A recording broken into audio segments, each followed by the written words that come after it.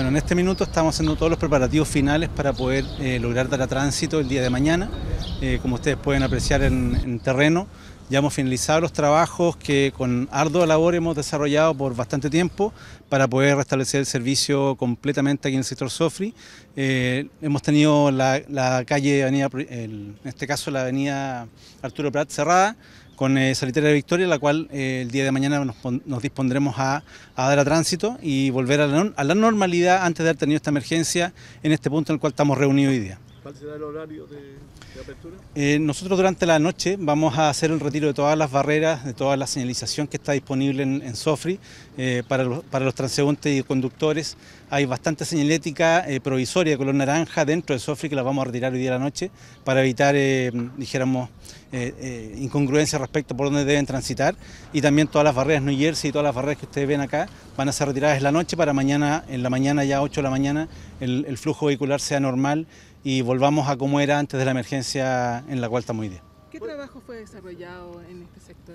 En este sector, bueno, si hacemos memoria, donde estamos parados hoy día teníamos un socavón de proporciones, eh, en una falla colector de, una profundidad de más de 5,5 metros y con una presencia muy importante de intrusión marina, la cual dificultó enormemente los trabajos.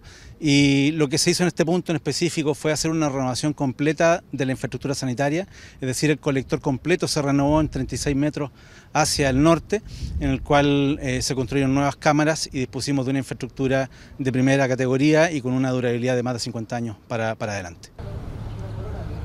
Eh, hemos estado bastante tiempo en esta forma de trabajar con vías reversibles, en este caso por ejemplo tenemos una bidireccionalidad en, en Salitre de Victoria que originalmente no funciona de esa forma.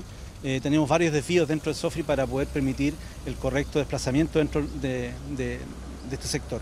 Entonces lo que ocurriría mañana, vamos a volver a la normalidad. ¿Qué quiere decir eso? Que la pista bidireccional de Salitrera Victoria va a, volver a, volver a ser una sola pista, o de un solo sentido, bien digo, con sus pistas desde, desde poniente a oriente, es decir, hacia el cerro.